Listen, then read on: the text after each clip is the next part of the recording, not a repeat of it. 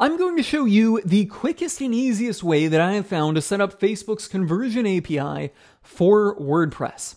Starting here from the events manager, if we go to add events and then using the conversion API and then use a partner, we will see all of the methods for getting this conversion API set up. One we're going to focus on today is Conversions API Gateway. Now I've tried these other options. Zapier, it doesn't deduplicate. It has an issue with the deduplication, which basically makes it useless.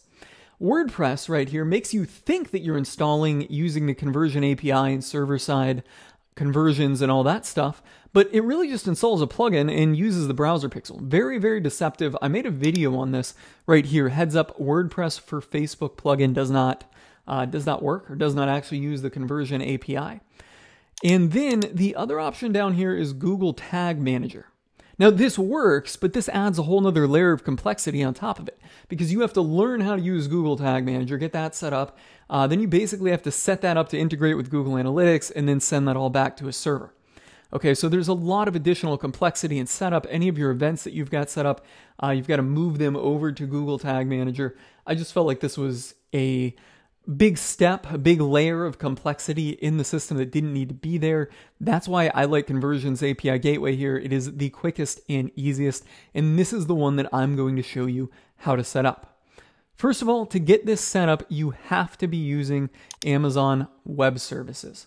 Okay, so come on over to Amazon Web Services, just Google Amazon Web Services, get here, and then sign up.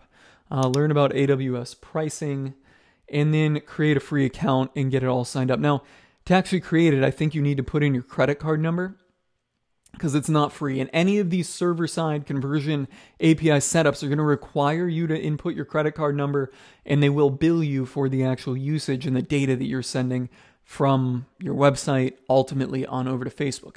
Yes, it sucks. Yes, it's another thing we have to pay for, but it, the reality is is no matter which method you use, to set up this conversion API, you're going to have to pay for it. Uh, Amazon Web Services, in the grand scheme of things, is pretty economical. Okay, so uh, I'm not going to get into pricing. It really varies on how much traffic you have, but most websites um, are not really going to be kind of blowing this out of the water here. And that said, if you know if you're using Facebook ads profitably, you're going to have no problem paying for you know AWS to get the benefit from the conversion API. So sign up to this and then sign into your account. I am.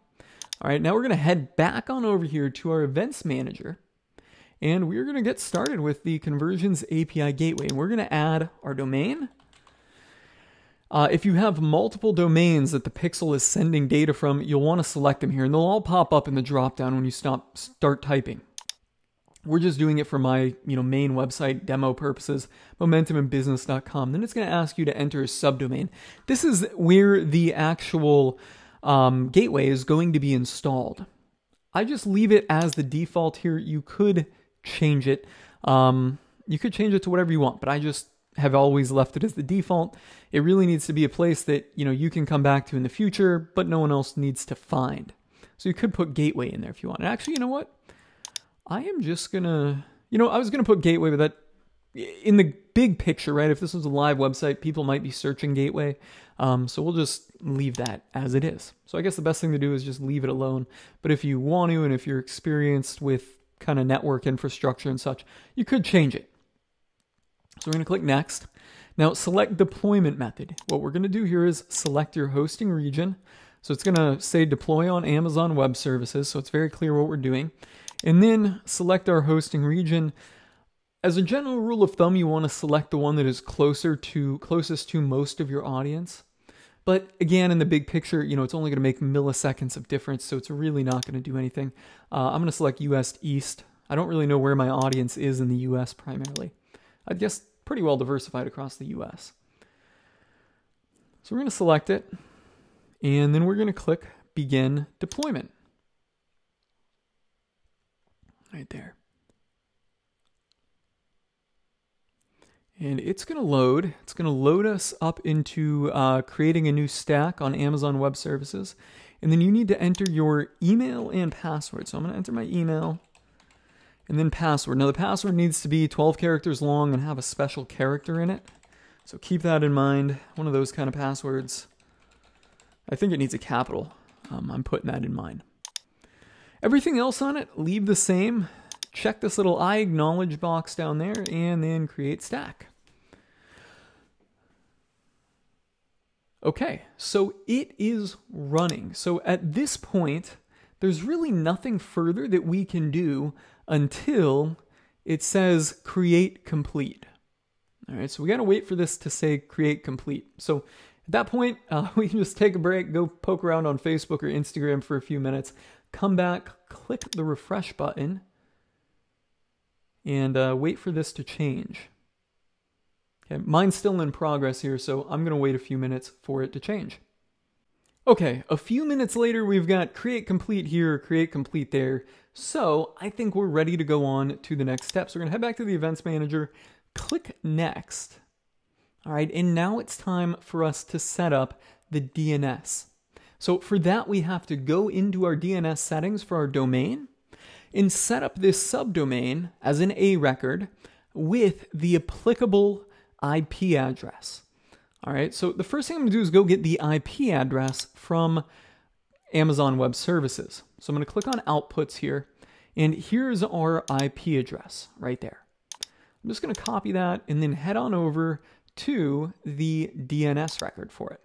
I'm already in the DNS record for my site uh, at Namecheap here. You'll need to get into the DNS records for your domain wherever your domain is purchased. It should look something like this, and we're going to want to add a new record. It's going to be an A record, and we're going to put in the IP address as that, whatever was here in the Amazon Web Services outputs. And then we need to put this in the A record as well, the little subdomain that we created, whether we renamed it or just used whatever Facebook uh, created for us. In my case here, it is YOJKOI. So we'll come back here and our host is just going to be YOJKOI. And then we're going to click on Save Changes. All right now here we might want to take a couple minute break again uh, to wait for the A record to update. Facebook does show you this status right here, but it is not really 110% accurate. Now, if you're familiar with, you know, handling these DNS records, you can just click this and skip on to the next step. I like to do a, you know, a little manual check, even though I know what I'm doing. I like to double check and triple check myself. So I'm going to come back here and remember the YOJKOI, and then I would Google just DNS A record checker. And for that here, we are going to input what we got excuse me, one mine was YOJKOI, I think, at, or not at, dot mydomain.com. Right? And we're going to search it here. What we want to see is that IP address loading for the A record. So here it is uh, on dnschecker.org. You can just Google A record DNS checker and use whatever one comes up. It'll probably be this one first. So we can see it's pointing to it, pointing that A record, even though here it's not. So I'm going to go ahead and click Next. Okay, so here we go. Finish your setup for the Conversions API Gateway. Now, you'll probably want to click the big green button that says Go to Console, but the reality is your install is probably not done running yet. So to check on it, we can come back here to Amazon Web Services and click on this link right here. The uh, Conversions API Gateway Instance URL. Don't really know what that is. I just know that if we click this, it's going to show us the progress of the install. And I'm going to go back and just open this up in a new tab. Okay, and it's going to take it maybe 10 to 20 minutes to run. And here you can just see it didn't update. And then once it is done running, it will come up with a, a button at the bottom that says the same thing as this go to console. So let's just leave this open and let it run. I'm going to come back to it when it's done. All right, the Conversions API Gateway has finished installing. If we wait for the countdown timer to run out, it'll give us a little button to take us on over to the portal, or we could just come back here and click on Go to Console. Now let's see what happens here. Wow, Safari can't open the page. This is something that I got basically every time that I did it, right? And look at the URL that it's trying to access. It has this .com slash UI on it. I found that if you just come in here and take the UI off, It works. Boom, okay. So now we need that email and password we just created. I'm to type mine in. And if we made it this far, everything should be working. And we do. So just like that, you have got the Facebook Conversion API Gateway set up and installed, and now your install is sending server-side data to Facebook. Now you might be wondering, how do I actually know that this is working? Well, let me show you how you can check on it using a website that's actually getting some traffic that I've got this running on. Right, so we're going to go into a different website right here, and you can see some data in here. You can see the event types, the event count, uh, and most importantly, the success rate.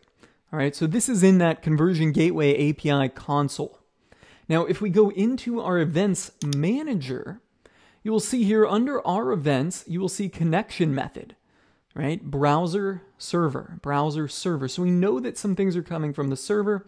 If we click on manage integrations right here, you'll see that we've got conversions API and browser pixel, both of them showing up as active.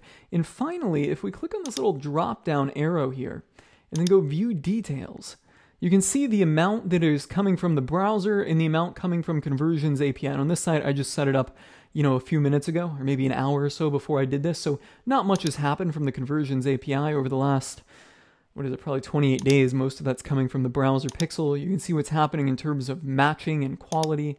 Deduplication, this will start showing up after a few days. And then finally, recent activities, it'll show you the exact log of what's coming in and uh, what's coming in from the browser and then also what is coming in from the conversion API. So that's how you guys set up the Facebook conversion API for WordPress using the gateway. It's quick and easy. If you guys are getting this set up, let me know in the comments below.